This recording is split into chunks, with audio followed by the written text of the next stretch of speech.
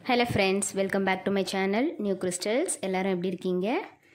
இன்றைக்கி நம்ம சேனலில் எங்கள் வீட்டில் திவாலி செலிப்ரேஷன் அண்ட் என்னோடய பர்த்டே செலிப்ரேஷன் எப்படி இருந்தது அப்படிங்கிறத உங்கள் கூட ஷேர் பண்ணியிருக்கேன் வீடியோ பார்க்கறதுக்கு முன்னாடி நீங்கள் என்னோடய சேனலை ஃபர்ஸ்ட் டைம் பார்க்குறீங்கன்னா மறக்காமல் ப்ளீஸ் நியூ கிறிஸ்டல் சேனலுக்கு சப்ஸ்கிரைப் பண்ணி கூடவே பக்கத்தில் இருக்கிற பெல் ஐக்கானை ப்ரெஸ் பண்ணி சேவ் பண்ணிக்கோங்க. ஸோ தட் நான் அப்லோட் பண்ணுற எல்லா வீடியோஸ்க்கும் உங்களுக்கு நோட்டிஃபிகேஷன் வரும். நீங்கள் மிஸ் பண்ணாமல் என்னோடய வீடியோஸை பார்க்க முடியும். வாங்க இப்போ வீடியோ பார்க்கலாம்.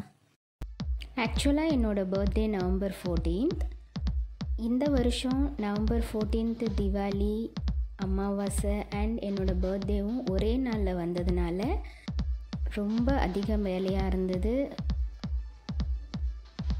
எல்லா எல்லாமே ஒரே நாளில் செலிப்ரேட் பண்ணுற மாதிரி இருந்தது. அதனால் என்னால் ரொம்ப வீடியோஸ்லாம் கேப்சர் பண்ண முடியல. ஸோ ஒரு சிலதை மட்டும்தான் கேப்சர் பண்ணியிருக்கேன் தீபாவளி அன்னைக்கே அமாவாசை அப்படிங்கிறதுனால நாங்கள் செய்கிற கேதார கௌரி நோன்பும் அன்னைக்கே செலிப்ரேட் பண்ணுற மாதிரி இருந்தது. ஸோ எர்லி மார்னிங்கே நாங்கள் தீபாவளிக்கு செய்ய வேண்டிய பலகாரங்கள்லாம் செஞ்சு சாமி கும்பிட்டோம். அதுக்கப்புறம் நோன்புக்கு தேவையானது எல்லாத்தையும் ரெடி பண்ணுற மாதிரி ஆயிடுச்சு. அதனாலேயே என்னமோ ஹோல் டே ரொம்ப பிஸியாக இருந்த மாதிரி இருந்தது. ஸோ அன்றைக்கி மார்னிங் பிரேக்ஃபாஸ்ட்டுக்காக காஞ்சிபுரம் இட்லி தக்காளி சட்னி வடை கேசரி அப்பம் சுழியன் பண்ணியிருந்தேன். ஆல்ரெடி காஞ்சிபுரம் இட்லி தக்காளி சட்னி எப்படி செய்யணும் அப்படிங்கிறத வீடியோ ஷேர் பண்ணியிருக்கேன் பார்க்கல அப்படின்னா அதோட லிங்க்கை டிஸ்கிரிப்ஷன் பாக்ஸில் உங்கள் கூட ஷேர் பண்ணிக்கிறேன்.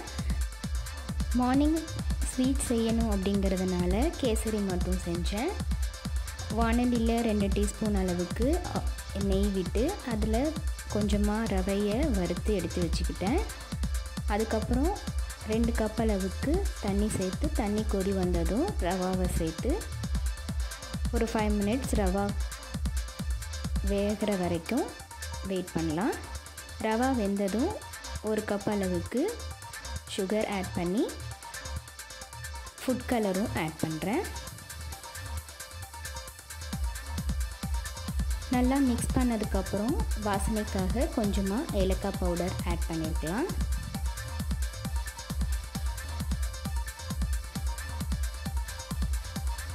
அவ்வளோதான் நம்மளோட கேசரி ரெடி ஆகிடுச்சு லாஸ்ட்டாக கார்னிஷிங்க்காக கொஞ்சமாக கேஷ்யூ நட்ஸ் ஃப்ரை பண்ணி இது கூட ஆட் பண்ணிட வேண்டியது தான். ஸோ மார்னிங் தீபாவளி செலிப்ரேஷன் எங்கள் வீட்டில் முடிஞ்சது.